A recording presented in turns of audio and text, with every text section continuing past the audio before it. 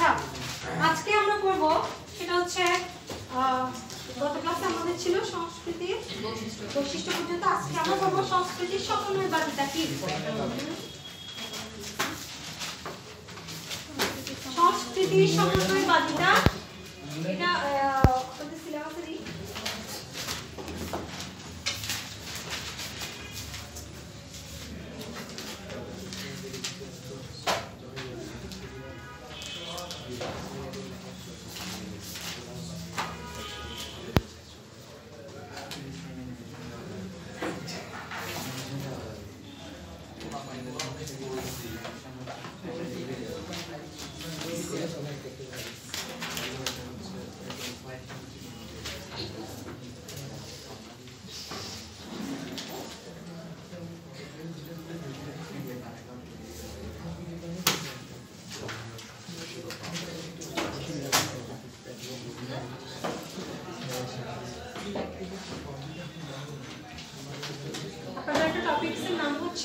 সংস্কৃতির সমন্বয়বাদিতা ও ধর্মীয় সহনশীলতা।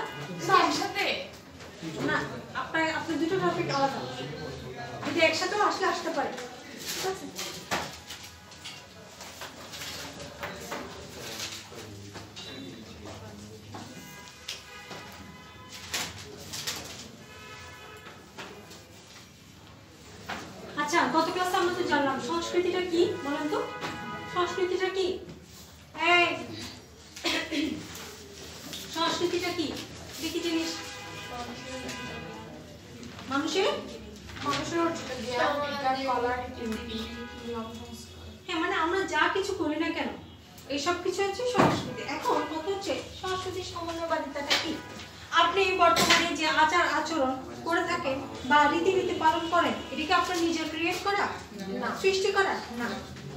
পেয়েছেন আপনার পূর্বপুরুষ থেকে। আপনার পূর্বপুরুষ পেয়েছেন, তারও ঠিক পূর্বপুরুষ থেকে।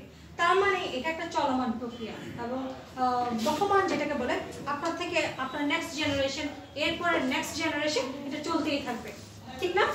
সো এইখানে সংস্কৃতির সমন্বয়বাদিতা বলতে বোঝাচ্ছে, উত্তরাধিকার সূত্রে প্রাপ্ত যে আচার আচরণ রীতিনীতি আমরা পালন করি, এগুলোকে আমরা বলব সংস্কৃতির সমন্বয়বাদিতা। এখন কথা হচ্ছে, আমরা বর্তমানে যে আচার আচরণ পালন করি, এটা কোনো ইউনিক বা কোনো ইউনিক কোনো আচার আচরণ না। আপনি দেখবেন আমরা অনেক কিছু পালন করি যেটা অন্যান্য সংস্কৃতির সাথেও মিল আছে। ঠিক কি না মিল আছে না? আলাদা কিছু না, একদম একেবারে আলাদা কিছু না। অনেকটাই মিল আছে। কেন মিল আছে? কারণ আমাদের দেশে এক এক সময় এক একজন এসেছেন এবং তাদের সংস্কৃতির কিছু না কিছু অংশ আমাদেরকে দিয়ে গেছে। যার ফলে আমাদের সংস্কৃতিটা ওনাদের সংস্কৃতির কোনো না কোনো বৈশিষ্ট্য দ্বারা কি হয়েছে? তৈরি হয়েছে বা সৃষ্টি হয়েছে। আমাদের দেশে কারা আসছে? দ্রাবিড়রা আসছে অস্ট্রিকরা আসছে তারপরে ইসলাম ধর্ম প্রচার করতে অনেকে আসছেন হিন্দু ধর্মের অনেকে আসছেন অনেক পরিভাষক আসছেন নাম শুনেছেন না? চীনা চীনার একজন পরিভাষকের নাম শুনেছেন না? ফাহিয়েন নাম শুনেছেন না? ওনারা আসছেন। তার মানে এই যে এক একবার এক একজন আমাদের দেশে বিভিন্ন কাজে আসুক বা ধর্ম প্রচারের জন্যই আসুক, তো তারা তখন কি করেছে? তাদের ধর্মের বা তাদের সংস্কৃতির কোনো না কোনো কিছু আমাদের কাছে রেখে গেছে এবং সেটাই আমরা আমাদের সংস্কৃতির সাথে মিক্স করে আমরা এখন বর্তমানে যে সংস্কৃতিটা পালন করছি। সো এটাই হচ্ছে সংস্কৃতির সমন্বয়বাদিতা। এটার মতোই ঠিক ধর্মীয় সহনশীলতা। ঠিক একই রকম। ধর্মটা কি জিনিস বলেন তো ধর্ম বলতে আমরা কি বুঝি? ধর্ম মানে কি? ধর্ম কি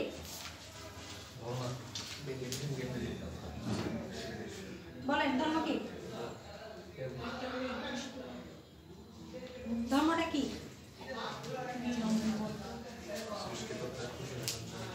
দেখি একজন হলেও বলেন ধর্মটা কি জিনিস? সবাই, এখানে এমন কেউ নাই যিনি একটা নির্দিষ্ট ধর্ম পালন করেন না। আমরা সবাই ধর্ম পালন করি। ধর্মকে সবার আগে বলবেন, বিশ্বাস। কি বলব আমরা? ধর্মকে বলব? বিশ্বাস। ঠিক না? আপনারা কেউ কিন্তু কোনো কিছু চোখে দেখেননি। শুধুমাত্র বিশ্বাসের উপরে আমাদের রিচুয়ালসগুলো পালন করি আমরা। ঠিক কিনা সো ধর্ম বলতে গেলে আমরা প্রথমে বলব, ধর্ম হলো বিশ্বাস এবং এই বিশ্বাসের সাথে সংশ্লিষ্ট যত ধরনের কার্যাবলী আছে, সেটা এটাকে বলব আমরা ধর্ম। এই কেউ লাফিং গ্যাস ছাড়ছে? এখনই? এমনিতে বাসায় গেলে কোনো কাজ না। কাজ সব কাজ ঠিক না? ক্লাসে বেড়ে যায়।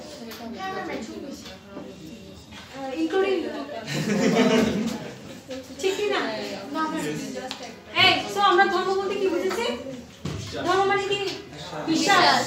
এবং এটার সাথে রিলেটেড যত কার্যাবলী আছে, সেগুলোর সমাহার। ঠিক আছে? এখন এই ধর্মীয় সহনশীলতা কি? ধর্মীয় সহনশীলতা মানে আপনারা এখানে একই ক্লাসে অনেক ধর্মের মানুষ বসবাস করেন। আমাদের এমনও হয় যে এক এক ধর্মের কিছু রিচুয়ালসের সাথে অন্যান্য ধর্মের অনেক রিচুয়ালস মিলে না বা বিপরীত হয়। সাংঘর্ষিক হয় না? তো তার মানে কি আপনি তার সাথে মারামারি করবেন? মানে এটা নিয়ে তার সাথে ঝগড়া করবেন? না। এই ধর্মীয় সহনশীলতা বোঝাচ্ছে অন্য ধর্মকে রেসপেক্ট করার বিষয়টা। বুঝে গেল? তো আপনাদের একটা প্রশ্ন আসে কি সংস্কৃতির সমন্বয়বাদিতা ও ধর্মীয় সহনশীলতা বলতে কি বুঝো? এইভাবে লিখবেন। এখন ধর্মীয় সহনশীলতার মধ্যে আমাদের দেশে এই যে বর্তমানে আমরা যে ধর্মগুলো পালন করি, এটার পাশাপাশি আরও অনেকগুলো ধর্ম আছে। যেমন আর্য, পূর্ব, অনার্য ধর্ম ও দর্শন, পৌরাণিক ধর্ম, বৈদিক ধর্ম, হিন্দু ধর্ম, লোকায়ত ধর্ম, জৈন ধর্ম, বৌদ্ধ ধর্ম ও দর্শন, চৈতন্য ধর্ম, ব্রাহ্মণ্য ধর্ম নাথ ধর্ম, বৈষ্ণব ধর্ম, ইসলাম ধর্ম, খ্রিস্টান ধর্ম। আছে না? ধর্মের অভাব আছে পৃথিবীতে ধর্মের অনেক ধর্মটা কি? কি বলেছে? ধর্ম মানে কি বলেছে? বিশ্বাস। তবে চারটাকে খুব বেশি মানে আমাদের দেশে অনেক বড়ভাবে পালন করা হয় বিশেষ করে কোনটা কোনটা? ইসলাম। ধর্ম হিন্দু বৌদ্ধ এই যে আমরা একটু আগে হিন্দু ধর্ম বললাম এই যে নাথ ধর্মের সাথে হিন্দু ধর্ম অনেকটা মিল যেটা আমরা বলছি অনেকটা মিক্সচার।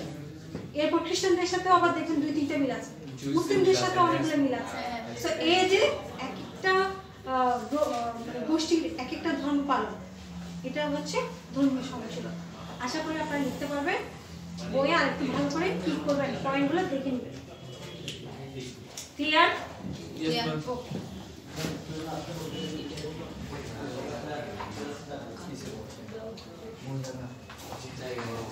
সো আমরা এই চ্যাপ্টারের লাস্টের টপিকে চলে যাচ্ছি।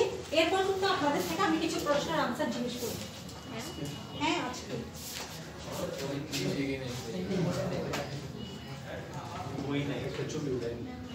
আচ্ছা আমরা বর্তমানে আমাদের আমরা যে যেখানে আছি যে অবস্থানে আছি বা যেই দেশে আছি এটার নাম কি? বাংলাদেশ। শুরুতে তো নিশ্চয়ই এটার নাম বাংলাদেশ ছিল না? ছিল ভারত ছিল। চলে আমরা এখন আজকে দেখব শুরু থেকে এটা কি ছিল? মানে কখন থেকে শুরু থেকে বলতে একেবারে শুরু না যখন থেকে বঙ্গটা আসছে বঙ্গ। ঠিক না? এরপর থেকে ধাপে ধাপে অনেকটা খুব চেঞ্জ হয়েছে। ঠিক কি না চলেন আমরা একটা চার্টের মাধ্যমে প্রথমে আগে এটা জানি তারপরে গিয়ে আমরা এটা ডিটেলসে যাব। সো প্রথমে আমাদের ছিল বঙ্গ। কি হলো? হ্যাঁ হয়ে যাবে। বাংলা।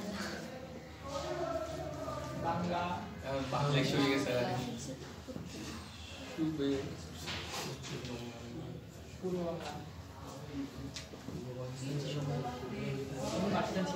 পাকিস্তান আছে বাংলাদেশ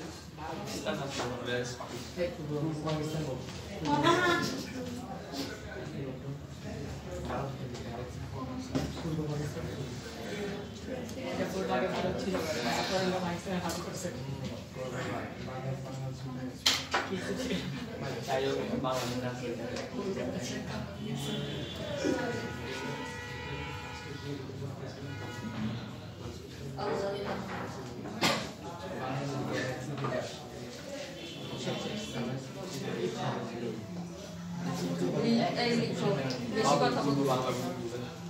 আচ্ছা এটা হচ্ছে সিকোয়েন্সটা এরকম।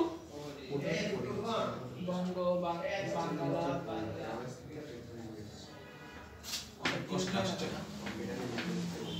তাও বাংলাদেশ উন্নত ইংলিশ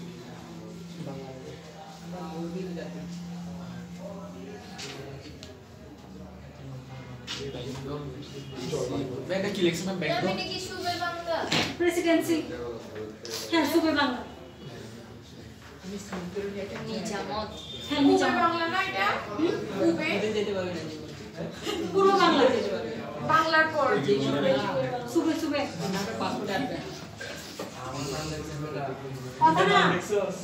আমার নামটা উনি শর্ট করতে বলছেন নিজামতটা কেন আসছে বলতেছি তো। প্রেসিডেন্সি শুভ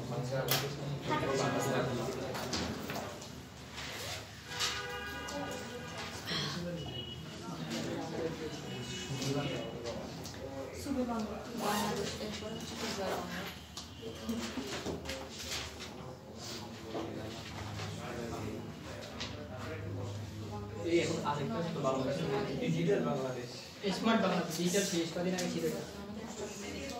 বলবেন ফিনিশ না নাই আমাদের বাংলা ভাষাগুলো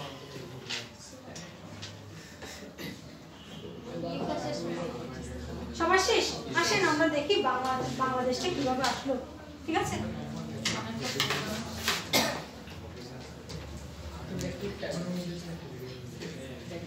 একটু পরে কিন্তু আপনাদের থেকে আমি কিছু এমসিকিউ আনসার জিজ্ঞেস করব।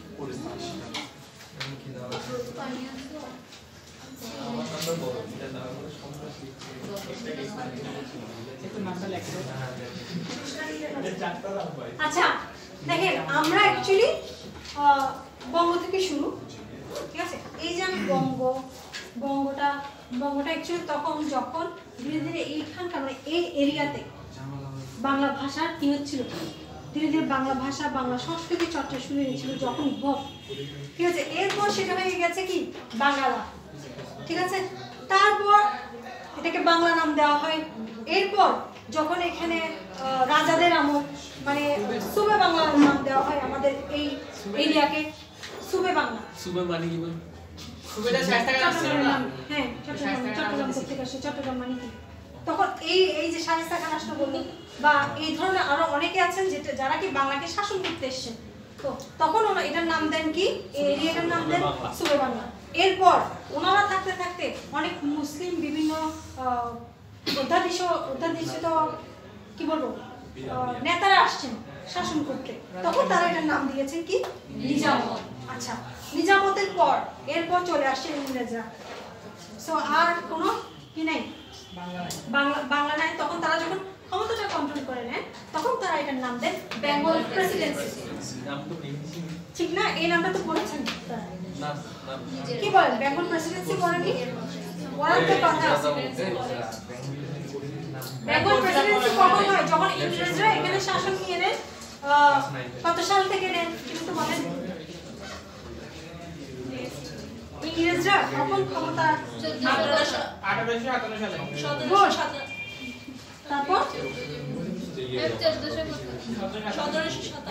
কম করে ফেলছি আমি একশো বছর সে কম বলেছে তারপরেও সে কিন্তু খুব খুশি।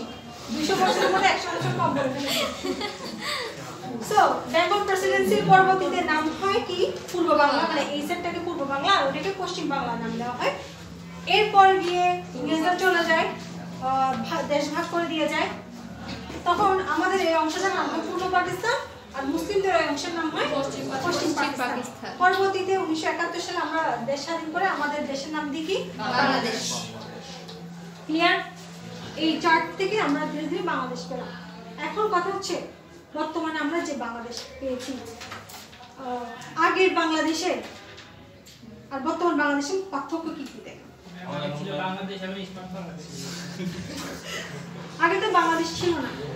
তো তখনকার বাংলা পূর্ববঙ্গ আর বর্তমান বাংলাদেশের মধ্যে পার্থক্য কি? বলেন তো। এই যে বাংলার বলেন বলেন বাংলাদেশের পার্থক্য কি? বাংলাদেশ আর? ভাষার মধ্যে পার্থক্য ছিল। হ্যাঁ এক্স্যাক্টলি ভাষাতে পার্থক্য। তো বর্তমান বাংলাদেশের একটা নির্দিষ্ট ভাষা আছে। কিন্তু তখনকার কোনো নির্দিষ্ট ভাষা ছিল না।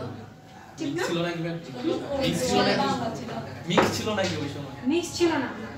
তখন তখনকার সময়ে যারা সমাজে উঁচু স্তরের ব্যক্তি ছিলেন ওরা কোন ভাষায় কথা বলতে পারেন? তো উর্দু ভাষায়। বাংলার মধ্যে কোন ভাষায় কথা বলতো আমরা বাংলার মধ্যে দুইটা সাধু ভাষা একটা কি? চলিত ভাষা। সাধু ভাষা কোনটা বলেন তো? আমি মানে। চলিত কোনটা? সাধু আর চলিত। করব।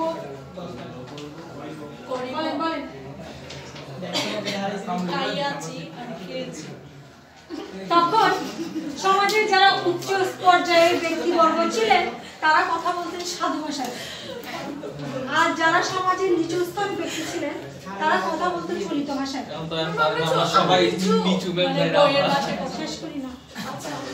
শেষ করার আগে নিচু চলে গেছেন কেন তাহলে এই যে একটা পার্থক্য তার মানে কি? তখন মানুষের মধ্যে ভেদাভেদটা বেশি ছিল যেটা বর্তমান সময়ে অনেকটুকু কম। ঠিক না? ওকে আমার মনে নেই আমাদের একটু ডাকি না।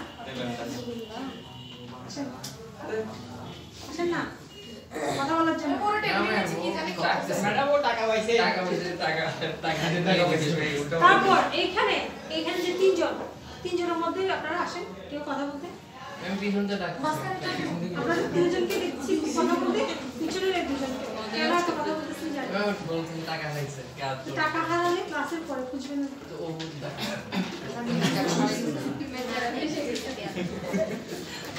আচ্ছা তখন আহ, তখন বাংলাদেশ মানে বর্তমান বাংলা যেটা সেই সেই অংশে খুব বেশি কলেজ বিশ্ববিদ্যালয় ছিল না। সবকিছু কোথায় ছিল? ইয়াতে ইংল্যান্ডে সবকিছু পাকিস্তানকে কেন্দ্র করে। লাইক আমরা এখন কোন কোন পাকিস্তান পশ্চিম পাকিস্তানকে কেন্দ্র করে সব বিশ্ববিদ্যালয় বলেন কলকারখানা বলেন যত উন্নয়ন বলেন সবকিছু তখন পশ্চিম পাকিস্তানকে কেন্দ্র করে হতো। পূর্ব পাকিস্তানে তখন কিছুই ছিল না তেমন। ঠিক কি না এটার জন্য তো এত আন্দোলন। নাহলে একাত্তর সালে যুদ্ধ করে তো এই দেশ স্বাধীন করার কোনো দরকার ছিল না। যদি সবকিছু ইকুয়াল হতো। যখন ইংরেজরা দেশ ভাগ করে চলে যায় তো দুটো অংশ হয়। একটা হচ্ছে পূর্ব পাকিস্তান আর একটা হচ্ছে পশ্চিম পাকিস্তান। বা ক্ষমতা থাকে পশ্চিম পাকিস্তানিদের হাতে। তো যখন তাদের হাতে ক্ষমতা থাকে তারা কি করেছে? সেই ক্ষমতার অপব্যবহার করেছে। একটা দেশ মানে কি? পুরোটা মিলে তো একটা দেশ। সো আমি যদি এক সাইডের উন্নয়ন করি আরেক সাইডের উন্নয়ন না করি তার মানে কি বৈষম্য না? হ্যাঁ। বৈষম্য না? এই কাজটা তখন ছিল। তাছাড়া তখন হিন্দু আর মুসলিমদের মধ্যে সম্পর্কের একটা ফাটল দেখা। হ্যাঁ। তখন পূর্ব বাংলার মানে আয়তন কতটুকু ছিল? পূর্ব পাকিস্তান যেটাকে বলতো। কোন পূর্ব পাকিস্তান? দেশ ভাগ হওয়ার পরে? পাকিস্তান আর পূর্ব পাকিস্তান পশ্চিম পাকিস্তান ভাগ হওয়ার পরে আর কি। এইটা আয়তন এতটুকু ছিল। ইন্ডিয়ার সাথে আমাদের বর্ডার শেয়ার আমাদের সাথে পাকিস্তানের সাথে সম্পর্ক নেই মাঝখানে ইন্ডিয়া আছে। আয়তন কিন্তু সেম মানে ভাগ হওয়ার পরে সাতচল্লিশ সালে যে ভাগ আচ্ছা গ্লোবটা দেখছেন? মানে পৃথিবীর মানচিত্রটা? একবার দেখছেন। একটু খেয়াল করেন। পৃথিবীর মানচিত্রে মানে বাংলাদেশের মানচিত্রটা দেখছেন। বাংলাদেশের তিনটা সাইডে হচ্ছে ইন্ডিয়ার বর্ডার ঠিক না? ইন্ডিয়ার বর্ডার কোথাও পাকিস্তানের বর্ডার আছে? নাই। তো ইংরেজরা যখন চলে যায় ওদের তো অনেক বুদ্ধি। বলছে ঠিক আছে আমরা ছেড়ে চলে যাব। কিন্তু তোমাদের মধ্যে আমরা একটা গেঞ্জাম আচ্ছা এই বলতে হবে। তোমাদের মধ্যে আমরা একটা প্রবলেম ক্রিয়েট করে যাব। সেটা কি? ওরা কি করেছে? যাওয়ার সময় বলেছে, ঠিক আছে, তোমাদেরকে আমি স্বাধীন করে যাচ্ছি, সাতচল্লিশ সালের কথা। তবে হিন্দুদের জন্য একটা রাষ্ট্র, মুসলিমদের জন্য একটা রাষ্ট্র করে যাবে কিন্তু তখন তো মানে মানুষ তো আর এভাবে বসবাস করে না। তুমি আমার সাইডে হিন্দু, হিন্দুদের সাইডে থাকো, মুসলিমরা মুসলিমদের সাইডে থাকো, এমন তো ছিল না। তো বাংলাদেশের বর্ডারের আশেপাশে ওই সাইডটাতে বেশিরভাগ হিন্দুরা ছিল। মানে এখন বর্তমান যেটা বাংলাদেশ। তখন পশ্চিমবঙ্গ ছিল আর কি। পশ্চিমবঙ্গ খেয়াল করছেন না? মানচিত্রে? ওরা কি করেছে? মাঝখানে ইন্ডিয়া, ইন্ডিয়াকে রেখে বাংলাদেশটা এই সাইডে পাকিস্তান এই সাইডে খেয়াল করেন এটা বাংলাদেশ, এটা ইন্ডিয়া, এটা পাকিস্তান। ওরা করেছে কি? এইটা আর এটাকে মিলে একটা দেশ বানিয়েছে এটাকে একটা দেশ বানিয়েছে। তার মানে এই দেশের সাথে এই দেশের সম্পর্ক, যোগাযোগ রাখতে হলে এই দেশের উপর দিয়ে যেতে হবে। একটা ক্লাস লাগিয়ে দিয়েছে। এখন আপনার প্রশ্ন ছিল ম্যাম তখনকার এই পাকিস্তানের আয়তন কত ছিল? পূর্ব পাকিস্তানে। অলরেডি কিন্তু আয়তন ওই ওইটাই আগেরটাই না আমি শুনছিলাম যে কলকাতা আমাদের ছিল না? কলকাতা আমাদের ছিল না তো। আমাদের কীভাবে হবে? কলকাতাকে তো ইন্ডিয়া ইন্ডিয়াতে দিয়েছে। এটা বাংলার ছিল না। ও ওইটা তো আর আগে উনিশশো পাঁচ সালে কথা বলতেছেন আপনি। হ্যাঁ উনিশশো পাঁচ সালে। বাংলা বলো না তখন তো উপমহাদেশ ছিল। হ্যাঁ হ্যাঁ হ্যাঁ তখন না। মানে এটা আপনি যেটা বলছেন সেটা হচ্ছে উনিশশো পাঁচ সালে একটা আপনারা করবেন বঙ্গভঙ্গ হয়। হ্যাঁ উনিশশো পাঁচ সালে বঙ্গভঙ্গ হয় উনিশশো এগারো সালে বঙ্গভঙ্গ রদ হয়। এই যে রবীন্দ্রনাথ। দুই লাইন একটা হ্যাঁ দুই লাইন আরও অনেক বড় লাইন মনে হয়। ভুলে গেছি আমি এখন কবিতাটা। খুব রিনাউন্ড নাই পারি তো কবিতা। একটু। পারেন বলেন। তেলের শিশি ভাঙচি বলে কুকুর পরে রাগ করো তোমরা যেসব বুড়ো চেষ্টা ব্যবহার করো। হ্যাঁ হ্যাঁ হ্যাঁ ওটা হতে পারে। হয়তো যেহেতু আমার মনে নেই।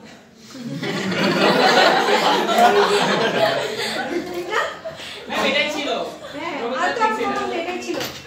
সো উনিশশো পাঁচ সালে আপনি যে বঙ্গবন্ধুর কথা বলছেন ওইটা অ্যাকচুয়ালি এই যে মানে বাংলাদেশের পশ্চিম ওই যে পশ্চিম বাংলার যে বাংলা একসাথে ছিল না তখন কি করছে ওরা? বলতেছে কি যে আমাদের পক্ষে এত বড় এরিয়া শাসন করা সম্ভব না কলকাতায় ওই অংশ এত বড় শাসন করা সম্ভব না সো দুইটা অংশ ভাগ করে দেওয়া হোক। ঠিক আছে? দুইটা অংশ ভাগ করে বঙ্গভঙ্গ করা হয় যেটা নিয়ে অনেক বড় কি বলব, অনেক বড় ঝগড়াঝাটি যাই বলে না কেন, মারামারি। তখন তো দাঙ্গা, তারপরে মারামারি অনেক বেশি মানে এটা, এই বিষয়টা নিয়ে এক পর্যায়ে গিয়ে উনিশশো এগারো সালে এটাকে রদ করা হয়। এবং এটার জন্য রবীন্দ্রনাথ তার নাইট উপাধিটা ত্যাগ করেন। মানে যতক্ষণ পর্যন্ত এই বঙ্গভঙ্গ রদ করা হবে না, উনি বলেছিলেন যে উনি নাইট উপাধি ত্যাগ করবেন। ইভেন এই বঙ্গভঙ্গের কারণে তখন মুসলিম আর হিন্দুদের মধ্যে এই যে ঝগড়াঝাটি শুরু হয়, এটা আজ অবধি চলছে। ঠিক আছে? মুসলিমদের মনের মধ্যে ঢুকিয়ে দিয়েছে সব সুযোগ সুবিধা হিন্দুরা পাবে হিন্দুদের মনের মধ্যে ঢুকিয়ে দিয়েছে সব সুযোগ সুবিধা মুসলিমরা পাচ্ছে। বাস এই দুটো দলের মধ্যে লেগে গেছে কি দ্বন্দ্ব? হ্যাঁ কিন্তু সেটা না আরও অনেক কিছু আছে এটার সাথে। আমরা যখন পড়ব ইন ফিউচার আমরা পরের চ্যাপ্টার বা এই পরের চ্যাপ্টার পড়ব আমরা আরও জানব। ঠিক আছে? আচ্ছা এটা তো গেল তাহলে বুঝা গেছে? ক্লিয়ার আচ্ছা। আশা করি আর সমস্যা হবে না। চলেন এবার আমাকে কিছু এমসিকিউর আনসার দিন আপনারা সবাই লিখবেন। ঠিক আছে? এই চ্যাপ্টারটা আমি করে হ্যাঁ লিখে আমি লিখে লিখে আমি প্রশ্নগুলো লিখছি এমসিকিউ এক কথায় উত্তর ট্যাক্সি দিলাম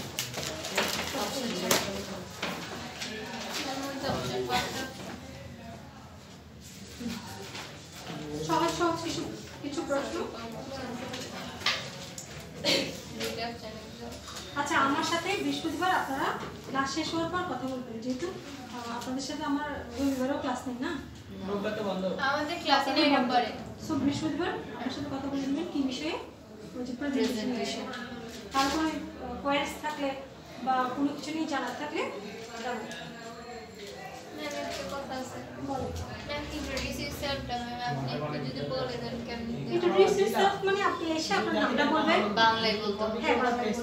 তারপর আপনার কোন সেমিস্টারে কোন শিক্ষাবর্ষের ছাত্রী সেটা বলবেন আপনি। তারপর আপনি আপনার টপিক শুরু সবাই একটা পিক দিবা সাথে করে। কেন? আমাকে কীভাবে দেখতেছেন যে না? আমার ঠিক লাগবে? দিছে তো। হ্যাঁ, ছবি সহ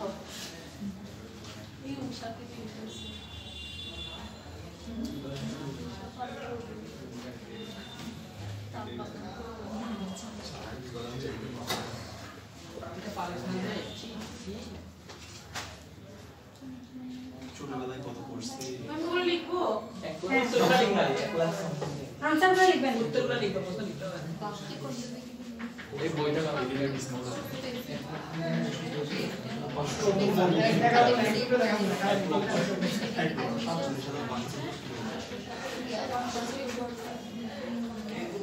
কেউ কারোর সাথে ডিসকাস করে লিখবেন না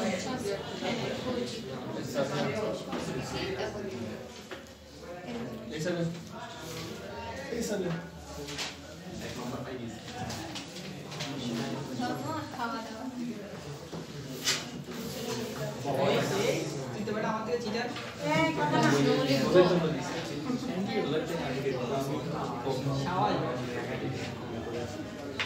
मैं पोस्टर में लिखो हम से एलिजिबल सी मैं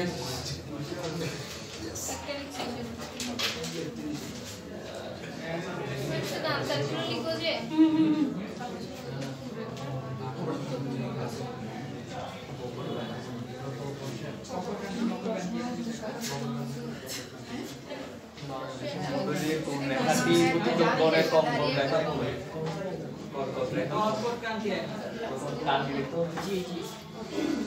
ডিসকাস করতে নিষেধ করছে। তাহলে তো প্রশ্ন আরও কঠিন করে দিতে হচ্ছে। No ma'am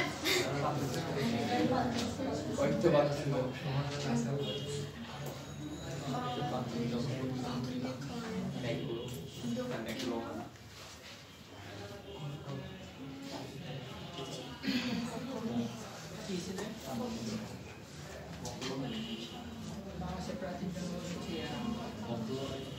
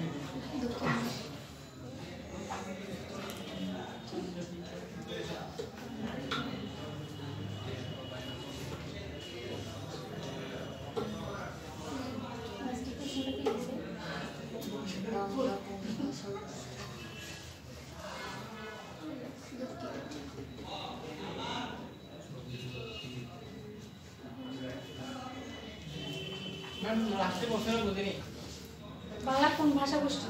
বাংলা ভাষাটা কোন ভাষা গোষ্ঠী?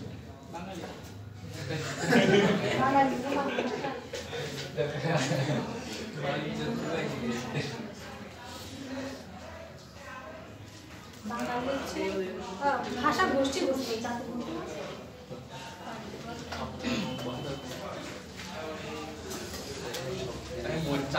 অনেক বড় আনসার লিখে এরপর পড়ো কোথায় মেডিকেল পরিচয় কে কে পড়া দেখি চার নম্বর হচ্ছে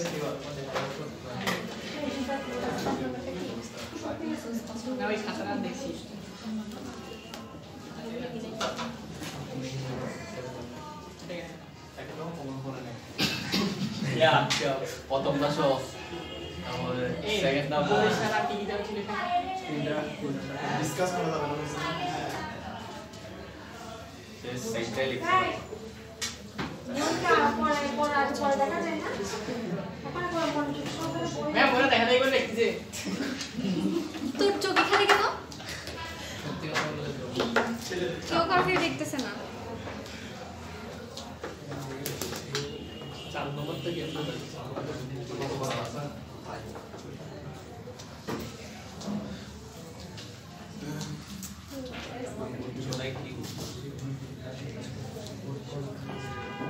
এইভাবে প্রত্যেকটা চ্যাপ্টার শেষ হলে আমরা এমসিকিউ বই তো নাই তো। যেগুলো এগুলো সবগুলো ক্লাসে বলা হয়েছে। একটা টপিক শুনে যেটা ক্লাসে বলা হয়েছে।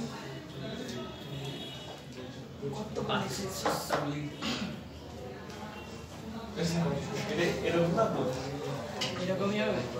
বাংলা দুইবার বলেছে কে কে শেষ করতে পেরেছেন? একটা আমি করি নাই ম্যাডাম আমি পাঁচটা করছি সাতটা তো পারবেন সাত নাম্বারটা সাতটা তো পারার কথা না না ম্যাম কিন্তু পরিষ্কার তার মনে নেই না না সাত নম্বরটা এক নাম্বারটা কোন গোষ্ঠী রে বাঙালি আবার বাঙালি বা ভাষা এই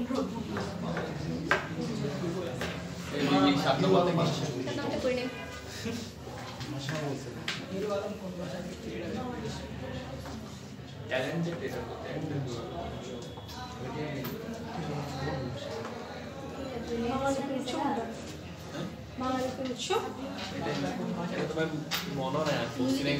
মনে করছি না পড়ার তো কোনো সবগুলো মনে জাস্ট পাঁচ নম্বর এটা টপিকটা কি বলেছে? লেখা শেষ। কোনটা পারেন নাই? মাস্টারটা পারেন পারেন নাই। লেখছো? সবার শেষ? লিখে আর এক মিনিট ঠিক আছে এক মিনিট শেষ করেন এক মিনিট শেষ করেন অনেক বড় হয়ে যায় সময় লিখলো কিসে এত বড় হিস্ট্রি দিতে হবে না তো। চার পাঁচ আমি লিখছি। সবার শেষ? ওকে এবার আমরা অ্যানসারে যাই। এক নাম্বার কে কে পারছেন? এটা সবাই পারবে। এক নাম্বার আনসার কত? এটা কেন দিচ্ছে জানেন? অনেকে আপনারা বইতে পাবেন এক লক্ষ সাতচল্লিশ হাজার ছয়শো সামথিং অনেকে বইতে আরও ভিন্ন ভিন্ন পাবেন প্রায় লিখতে হবে? না লিখলেও চলে সমস্যা নেই। লিখলে লিখতে পারেন আপনার ইচ্ছা। তবে আয়তন কখনো চেঞ্জ হবে না। এটাই থাকবে ঠিক আছে? দুই রেখা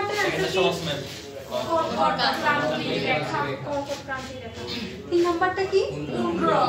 গুড চার নম্বরটা কি উত্তর তিন গোলার্ধে আমি আরও বড় বড় নামে আনসার মনে আছে দক্ষিণ আমি একটা লাইন লিখে দিয়েছিলাম দক্ষিণ এশিয়া ভারত মিয়ানমারের মাঝখানে না না এগুলো না। ভাই উত্তর পূর্ব দশমিক অনেক লম্বা লাইন এটা তিন দশমিক তিন চার না না না হ্যাঁ বলেন বলেন। বলেন ঠিক হচ্ছে তো? Nine zero. বিশ দশমিক তিন চার আচ্ছা কত বছর পারি কিন্তু আমি মনে রাখতে পারি এটা কে পারবেন এটা কেউ পারব না এটা কে পারবেন দেখে হলো কে লিখতে পারবেন তার খাতায় লিখে আছে এটা বাংলাদেশের আর বিশ ডিগ্রি দেন আসেন আসেন এসে লিখেন দেখে দেখে হ্যাঁ দেখে দেখে সুমন না সুমন কি হাত গুলে মিস করে দিয়েছে হ্যাঁ, লিখেন ওদের লিখ না হ্যাঁ, মাঝখানে আসেন মাঝখানে চলে যাও ম্যাডাম এটা এটা ওই কোয়েশ্চেনটা দিতে আনসারটা লিখে রাখেন। দেখেন বাংলাদেশের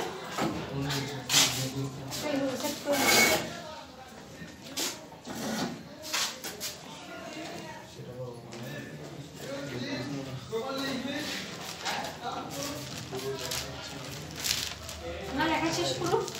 তারপর ছোট করে লেখ না, এত বড় অফুরন্ত সময়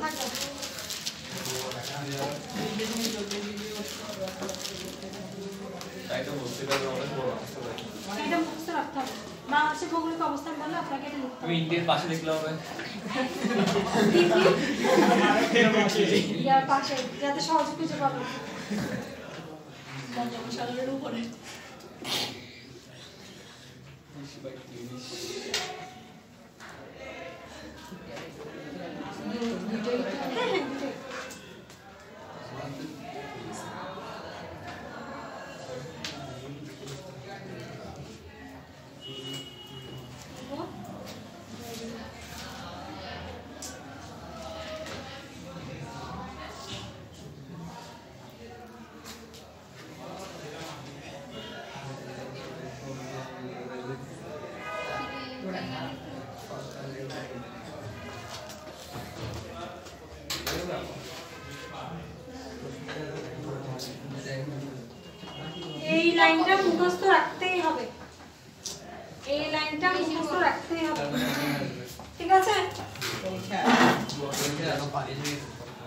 এত থেকে এত। এই লাইনটা মুখস্থ রাখতেই হবে ঠিক আছে? এরপর পাঁচ নাম্বারটা আনসার হ্যাঁ ব্রাহ্মী লিপি। ব্রাহ্ম ব্রাহ্মী লিপি থেকে। ব্রাহ্মী লিপি করে ব্রাহ্মী লিপি থেকে। তারপর চন্দ্রদ্বীপ বলতে বর্তমানে বরিশাল। বরিশাল। বরিশালকে এরপর লাস্ট ওয়ান আর্য। প্রাকৃত ভাষা ইন্দো ইউরোপীয়। বাংলা কোন ভাষা ইন্দো ইউরোপীয়? দেখছেন? শত্রু কোথায় থাকে? পিছনে। বাংলা বাংলা বাঙালি। এত কিছু বসেন শত্রুটা আনসারটা পিছনে ছিল। ঠিক আছে? নেক্সট ক্লাসে আমরা পরের চ্যাপ্টার স্টার্ট করব। এই চ্যাপ্টার নিয়ে আশা করি সবাই আহ, নিজেদের বই থেকে ভালো করে পড়ে দেবেন কোনো সমস্যা থাকলে জিজ্ঞেস ছুটি